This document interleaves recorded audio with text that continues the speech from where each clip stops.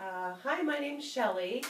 I came in here uh, originally because I had uh, bone loss in one of my front teeth.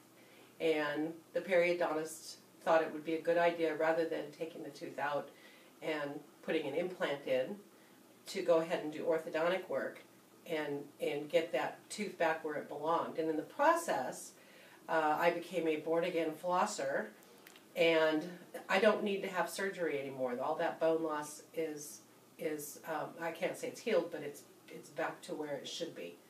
So the last 19 months of looking like I was 16 was fine. This office is different than most offices. You come in, you scan, you brush, you go in, they got good music playing, you get your teeth taken care of, and you go out the other way, and everybody is so friendly and so nice. And look at this. I am so thrilled. I got these my braces off today, and I just had no idea I had such pretty teeth. Uh, don't don't hesitate. If you need your teeth done, get them done. Get them done here.